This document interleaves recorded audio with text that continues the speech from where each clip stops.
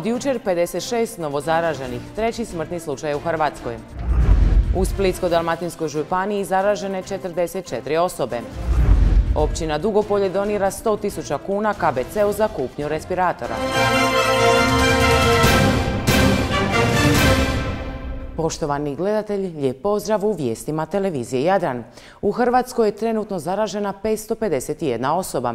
Jučer je preminula 65-godišnja žena iz Slavonskog broda. To je do sada treća žrtva u Hrvatskoj. U Splitsko-Dalmatinskoj županiji potvrđeno je osam novih slučaja zaraze. Od jučer Kina više nije zemlja s najvećim brojem oboljelih. Prvo su mjesto preuzele Sjedinjene američke države, dok je najveći broj umrlih u Italiji, a BBC je objavio da je i britanski britanski premijer Boris Johnson pozitivan na koronavirus. Komentar na situaciju donosi kolega Robert Škurla. U ovo tužno vrijeme, kada su ljudi više nego ikad prije postali brojke, nećemo o njima. O brojkama kao i krivuljama bolesti već sve znamo. No što znamo o danu nakon, the day after? Korona kriza udar je prije svega na zdravstvene sustave zemalja svijeta. Gledajući agoniju američkog zdravstvenog sustava, koji je sustav baziran na egidi koliko para toliko muzike, Europa i dobar dio svijeta imaju sreću što su svoje zdravstvene sisteme unatoč izazovima i brojnim ponudama transatlantskih osiguravajućih kompanija ipak zadržale na temeljima solidarnog zdravstvenog osiguranja kojeg je osmislio i ustanovio hrvatski liječnik svjetske slave dr. Andrija Štampar. Ta hrvatska pamet danas se pokazuje kao ključna u kontroli pandemije i spriječavanju propasti zdravstvenih sustava diljem svijeta. No korona kriza iza zdravstvene vuče nešto mnogo dublje i dugotrajnije, a to je gospodarska kriza koja neminovno nastupa još dok korona pandemija niz daleka nije doživjela svoj vrhunac. Zemlje Europske unije, svaka na svoj način, pa tako i Hrvatska, nastoje razviti vlastitu strategiju održavanja uposlenosti i kakve takve održivosti gospodarskih aktivnosti, što je u zemlji kakva je Hrvatska, koja je poput Španjolske ovisna o turističkoj djelatnosti, poprilično izazovno. To pak indicira nekoliko posljedica. Da je ideja europske solidarnosti u ovom trenutku zbunjena, preplašena i nejasna, s obzirom da se svaka članica bori sama za sebe i za čvrsto zatvorenih granica – i da je svaka reakcija na krizu koja dolazi bazirana na individualnim gospodarskim karakteristikama i refleksima. I dok je Hrvatska krenula prva s garancijom minimalnih primanja za idući mjesec, najava intervencija i zadiranja u stečena prava zakona o radu za sada u javnosti ne izaziva simpatije. Hrvatsko gospodarstvo, jasno je svima, suočit će se s velikim problemima postkoronske krize – jer nije dovoljno efikasno da kao koreanci shvati da je kriza vrijeme za odvažne i orijentaciju na gospodarske tehnike koje se u ovom trenutku dinamično razvijaju, a to je prije svega razvoj 3D printera, eksplozija trgovine preko interneta, edukacije i školovanja online i tome slično. Trik u kojem poduzetnici mogu dobiti potporu za zaposlene pa ih potom poslati na biro za zapošljavanje jer će tamo dobiti veću naknadu, duplo je opterećenje za državu, koje je ista već, ako je slutiti po reakciji medija, brzo shvatila. Plenković najavljuje formiranje gospodarskog stožera sastavljeno od jakih privrednih figura i tim pokazuje da pokušava naći rješenje prema formuli koja se pokazala uspješnom u slučaju zdravstvenog kriznog stožera. Sindikati su već na zadnjim nogama i najavljuju vladi teške pregovore, dok poduzetnici i dalje upućuju apele kako mjere odgode poreza i doprinosa nisu rješenje koji će im pomoći da prežive nakon što pandemija prođe. U fokusu bi, dakle, kao i na početku, trebao biti radnik i njegovo radno mjesto. Bez sačuvanog radnog mjesta nema radnika. Bez radnika nema poduzeća. Bez poduzeća nema ni gospodarstva, a bez njega nema, ne treba ni nastavljati niz. Stoga nam je zanadati se da će u Hrvatskoj biti nastavljen jedan malo bolji niz. Niz hrvatske pameti, koji je prije nešto više od 100 godina započeo štampar. Danas je nastavlja Beroš, a sutra netko s ekonomskim nervom Bila Gejca i hrvatskim srcem malog Šimuna Čorića iz Nuštra, čiji su heroji djetinstva liječnici Nacionalnog stožera civilne zaštite, Vili, Kruno, Davor i Alenka. Hrvatski Dream Team, koji ako je suditi po Šimunu, a dječje srce nikad ne laže, sigurno pobjeđuje i ovu bitku. Majo. Hvala kolega. U Splitsko-Dalmatinskoj županiji od jučer je zabilježeno novih osam slučajeva zaraze koronavirusom, od čega ih je četvero s područja Splita, dvoje iz Kaštela te po jedan iz Solina i po strane. Time je broj oboljelih narastao na 44 na području Splita, dok se broj oboljelih zdravstvenih djelatnika popeo na 13. Od 44 oboljela te 8 novo oboljelih na području naše županije, svega jedan zaraženi je na respiratoru, dok je još 14 osoba hospitalizirano. Preko 300 osoba se nalazi u samoizolaciji, njih 28 je u karanteni na Dujlovu, dok je policija izvršila preko 1000 provjera građana. Imamo 8 novo pozitivnih, dakle ukupno sada 44 osobe. Po lokalnim zajednicama to izgleda ovako. Split 4, Kaštela 2, Solin 1, Podstrana 1. U bolnici trenutno leži 14 pozitivnih osoba, od toga je na respiratoru jedna osoba iz Šibensko-kninske županije i njeno zdravstveno stanje je nešto teže. Imamo srednje teško jedno zdravstveno stanje, svi ostali su zaista zadovoljavajućem zdravstvenom stanju. Od zdravstvenih djelatnika imamo 13 pozitivnih zdravstvenih djelatnika, 88 u samoizolaciji. U samoizolaciji što se tiče građana imamo trenutno 304 osobe. Iz KBC-a poručuju kako je danas zaprimljen najveći broj pacijenata u ovih mjesec dana, te kako je zbog vršenja laboratorijskih testiranja u Splitu i očekivan takav porast. Ravnatelj Julije Meštrović još je jednom upozorio građane na simptome, te odgovorio o stanju ljudstva i opreme u splitskim bolnicama.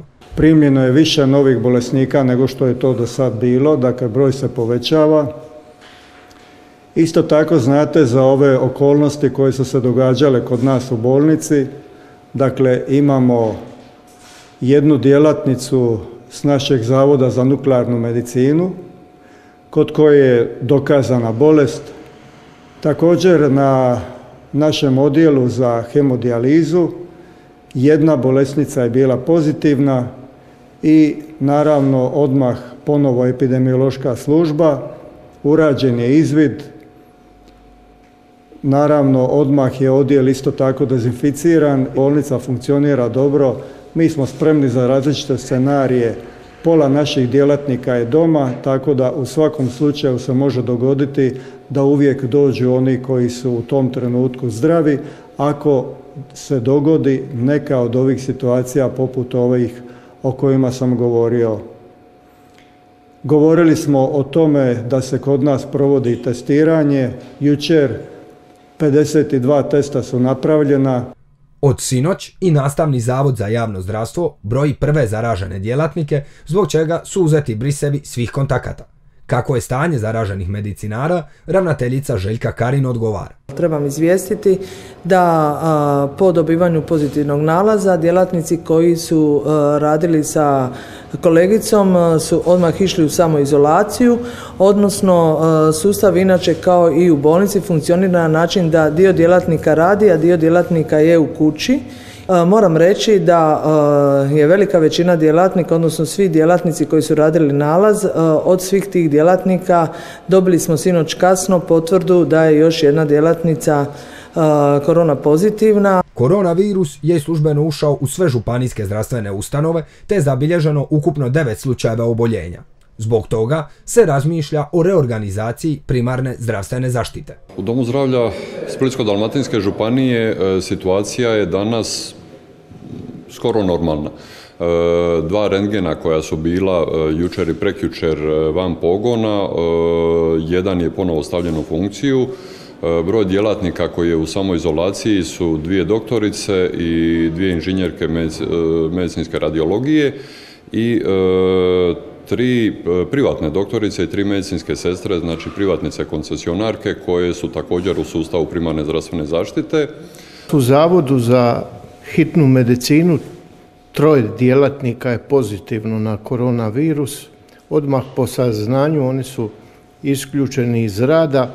Svi njihovi kontakti su također isključeni iz rada i upućeni u ovaj, samoizolaciju.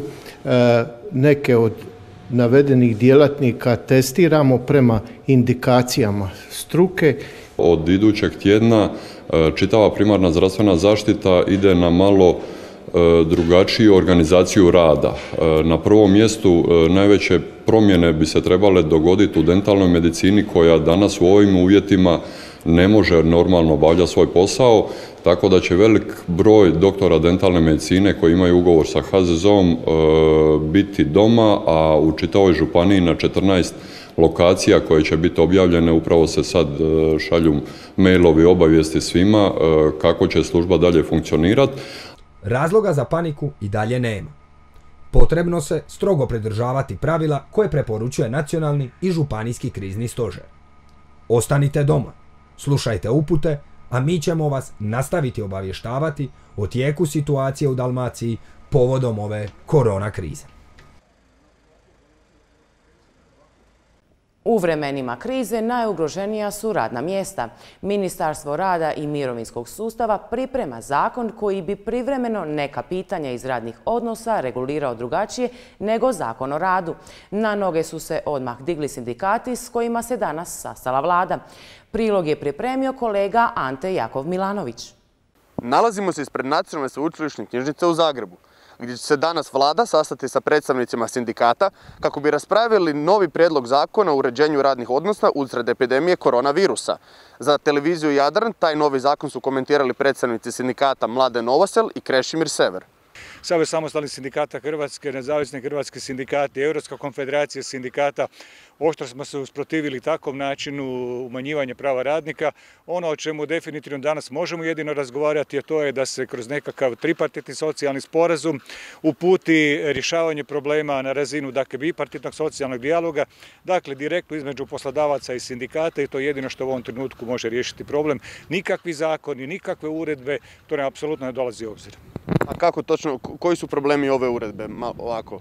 E, problemi prije svega, ajmo reći, neformalnog jednog prijedloga zakona koji izašao u javnosti su takovi da bi tim zakonom se moglo doslovno znači derogirati sva prava radnika s kolektivnih ugovora, da bi poslodavci sami mogli utvrđivati i raspored radnog vremena, a to znači da jednostavno radnici preko svojih predstavnika ne bi imali mogu apsolutno u ovom trenutku nikakav utjecaj na svoje radna prava, što apsolutno je neprihvatljivo i nedopustivo i to je nešto što u ovom trenutku nijedna zemlja Europske unije koja je zahvaćena ovim, ovom krizom nije tako tim putem krenula, a siguran sam da neće krenuti ni Hrvatska nakon današnje sjednice GSV-a.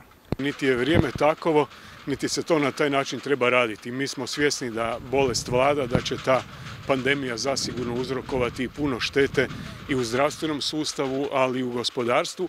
Međutim, činjenica je da mjere moraju biti takve da se upravo zadrže radna mjesta i da se zadrže plaće, a da se pri tome to ne iskoristi kao mogućnost da poslodavci mogu svojom voljom mijenjati propise kako oni žele, da mogu ići mimo kolektivnih ugovora, mimo zakona i slično. Ne može se ići odmah kapitulirati do kraja, nego treba vidjeti što je moguće u datom trenutku raditi. Sasvim sigurno da nitko nije protiv toga da se ide i oštrijim mjerama ako one budu nužne, ali ne na početku, jer to bi značilo da se praktički sve streljivo ispuca na livadu dok još na livadi ima cvijeća. Ne znamo što će biti kasnije, pa treba raditi postupno. Ako dođe do toga, sindikati nikad nisu bili tvrdoglavi, sjetimo se i domovinskog rata i za vrijeme krize, pa i u ovom vremenu se tako ponašaju. Dakle, nužno je razgovarati, a ne donositi zakone koji će van snage bacati druge zakone u ovakvim uvjetima, jer dok s jedne strane imamo stožer koji šalje umirujuće poruke, primiruje građane, Dotle na drugoj strani upravo ova poruka koja se sad našla u javnosti uznemirila je veliki krug ljudi. Boje se za svoj posao, boje se za plaću, boje se za svoj opstanak i nije to tako jednostavno da se samo reže, a bez da se razgovara. Također, danas je u centru rasprave novi mogući zakon o praćenju ljudi preko mobilnih mreža, kako bi se smanjilo nedozvoljeno kretanje unatoč samoizolaciji. Dok se vladajući slažu sa tim zakonom i smatraju da je taj zakon dobar u ovoj teškoj situaciji kako bi se spriječilo širenje koronavirusa, većina oporbe se ne slaže s tim zakonom te smatraju kako je taj zakon potpuno kriv te da za budućnost će jako ugroziti prava i slobodu građana. Također u Zagrebu je danas kao što možete vidjeti jako lijepo vrijeme pa su ljudi počeli malo više izlaziti van, no svejedno ljudi se relativno drže pravila o samoizolaciji. Tako da ljepše je vrijeme pa barem ako ne možete izaći van izađite na svoje prozore ili balkone, udahnite malo friškog zraka i uzmite par zraka sunca kako bi napunili svoje tijelo vitaminom D. Toliko za vijesti televizije Jadran iz Zagreba. U gradu Solinu se jučer i službeno pojavio prvi pozitivan nalaz na koronavirus. Danas je zabilježen još jedan slučaj koji uključuje člana lokalnog kriznog stožera, zbog čega su u gradu uvedene posebne mjere opreza, a djelatnici Solinskog crvenog križa imaju pune ruke posla pomažući onima kojima je sada pomoć najpotrebnija. Vijest o zaraženoj liječnici te članici kriznog stožera, kao i dolasku koronavirusa u grad Solin, značila je brz odgovor te promptnu reakciju vlasti koja je sa 100.000 kuna odlučila pomoći KBC u Split u borbi s ovim opakim virusom. Kao grad smo e, već sada nekako napravili set mjera kojima nastojimo pomoći građanima i poduzetnicima koji se nalaze na teritoriju grada Solina, jer smo svi zajedno u ovome, ne možemo se skulpirati od, od ovoga, na sve, na sve nas ovo utječe, tako da evo, gradonačelnik je donio zaključak kojim je na tri mjeseca zapravo suspendirao naplatu komunalne naknade e, kako stanovništvu, tako i poslovnim subjektima. E, roditelji su oslobođeni plaćanja vrtića također na tri mjeseca. E, pregovaramo i sa privatnim vrtićima jer mi kao grad sufinanciramo njihov rad, tako da ćemo i tu vidjeti što će se dogoditi.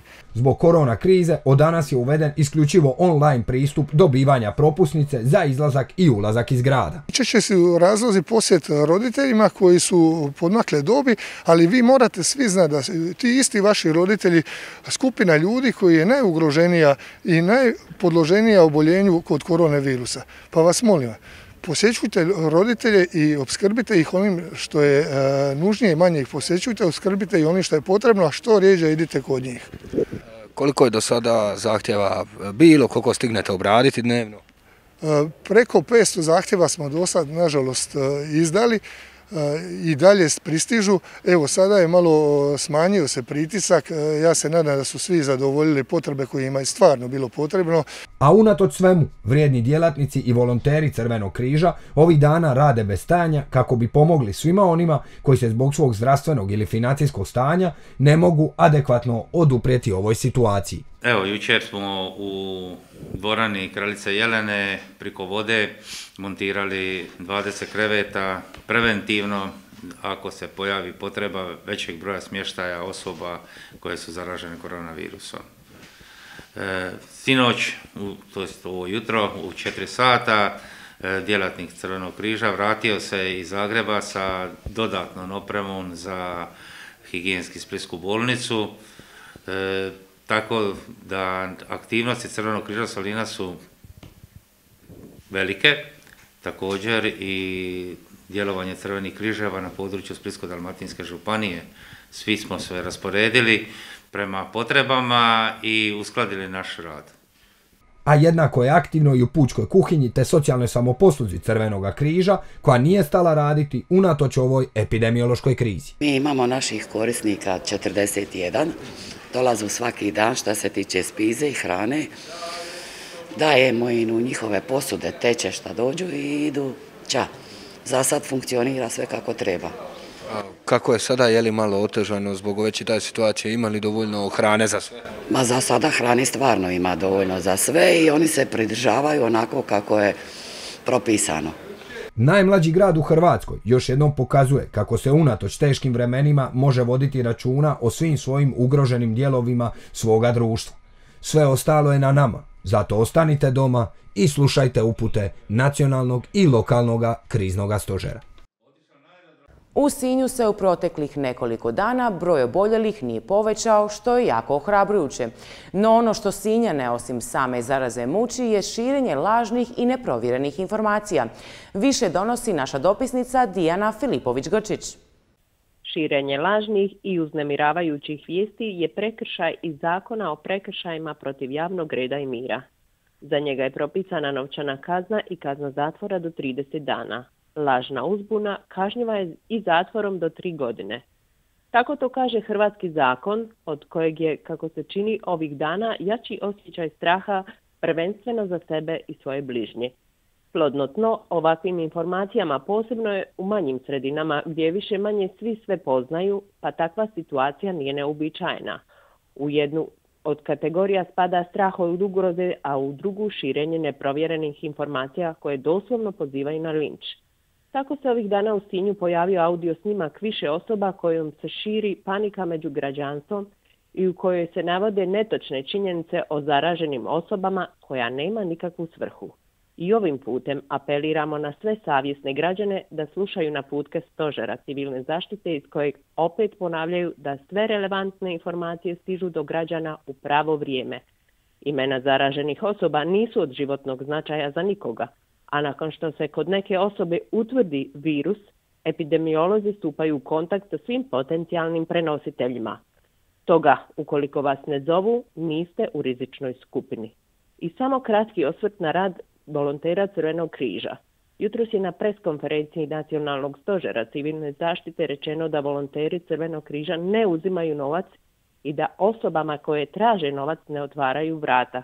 Volonteri Crvenog križa ne traže novac za učinjene usluge dostave, ali podrazumijevate da korisnici sami plaćaju svoje namirnice, ljekove i ostalo što im se traži za nabavku. Da zaključimo ovo javljanje jednom pozitivnom vješću, u Sinju ni danas nema novo oboljelih od koronavirusa, što je više nego ohrabrujuće. Općina Dugopolje odlučila je pomoći kliničkom bolničkom centru Split donacijom od 100.000 kuna za kupnju respiratora i opreme za potrebe liječenja bolesnika zaraženih koronavirusom. Općina Dugopolje donirat će kliničkom bolničkom centru Split iznos od 100.000 kuna za kupnju respiratora.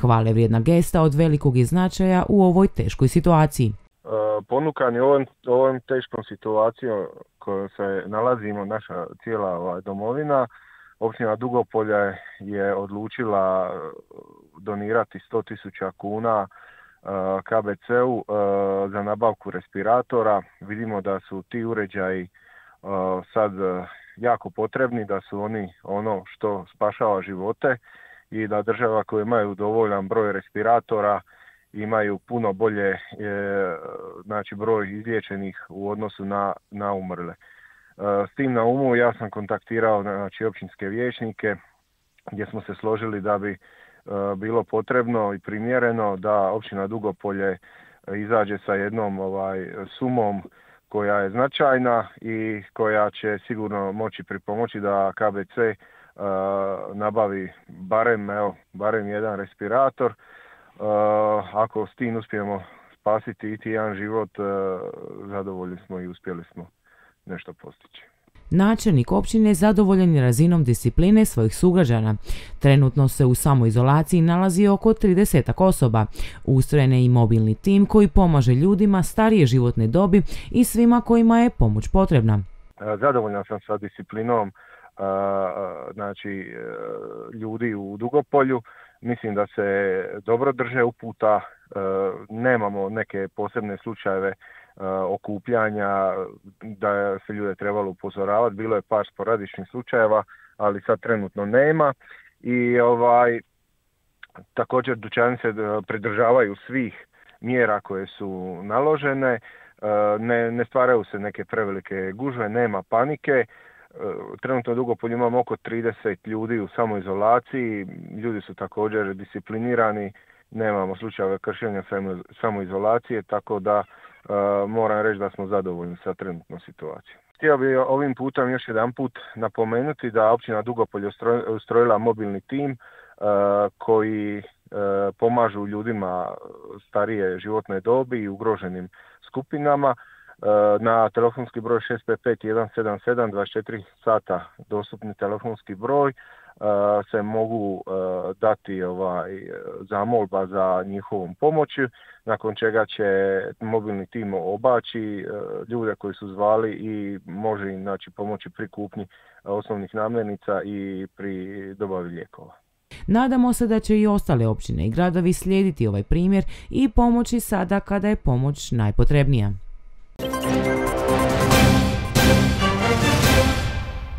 Zdravi bili i ostali tako. Čuvajte se, to je osnovno. Tako se pridružujem vapaju brojnih s molbom pa i zahtjevom ostanite doma. U tijeku je velika, nažalost, i neizvjesna borba protiv opasnog, podmuklog, nevidljivog virusa. A to zahtjeva odlučnost u mjerama zaštite, ali isto tako i u gospodarskim nastojanjima da se osigura što normalniji život, naročito da se što više je moguće spasavaju radna mjesta vijest dana iz sportske domene ona koja je na neki način zatresla javnost, igra iz Maksimira. Radi se o žestokoj, reklo bi se, beskompromisnoj odluci rukovodstva Dinama da razriješe dužnosti svu šestoricu stručnjaka i stožera trenera Nenada Bjelice kao reakciju na odbijanje trenera i igrača da im se smanje primanja. Takav potez smjenjivanja šestorice stručnjaka koji su od povjerenja trenera Bjelice tumači se i kao jasna namjera da se prvog trenera natjera na ostavku i odlazak. Naime, već neko vrijeme, bez obzira na sjajne rezultate modrih s Bjelicom na kormilu, govori se o vjerojatnom njegovom odlasku, jer navodno drugima iz rukovodstva ne odgovara dominantna uloga trenera. Uprava Dinama tražila od Bjelice igrača da prihvate kresanja plaće za jednu trećinu. A te plaće su, budimo realni, zaista faraonske za hrvatske prilike. I to ne samo u slučaju Dinama, nego i kod većine prvoligaša. I dalje ne samo ekskluzivno u nogometu, nego i nekim drugim sportovima.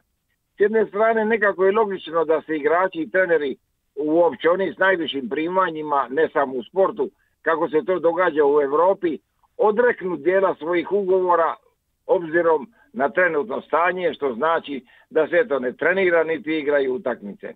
S druge strane, nepodnošljivo je da se zaviruje u tuđi takuin, što znači da je zdrava logika ostaviti svakome na volju, na savjesti, da podesi svoja prava u odnosu na situaciju. U sportu je inače stanje kritično, posebno u takozvanim malim sportovima, premda je vlada nakladno ipak poduzela određene poteze za spas radnih mjesta u klubovima. Sportaši, naročito oni s najvećim primanjima, kao što su nogometaši, košarkaši i drugi, uvijek su se ponašali solidarno, prednjacili su u humanitarnim akcijama, kupovini lijekova, nabavljanju potrebnih medicinskih instrumenata, aparata, pogotovo u pojedinačnim pomaganjima hendikepiranima i bolesnima. I nikada takve svoje aktivnosti nisu na populistički način iznosili u javnosti. Eto, Hajduk će po instrukciji Splitske bolnice osigurati sredstva za kupovinu dva sterilizatora zraka. Sigurno će treneri i igrači dati još. Bitno je da oni s rukovodećim položaja pokažu primjer odricanja koji je nužno potreban da bi se osigurala sredstva Splitskoj bolnici. Zaključit ću, svi smo dužni davati sve od sebe, makar se to odnosilo na jedan simboličan način, a to je strpljivo ostajanje kod kuće sa svojim obiteljima. Zdravi bili!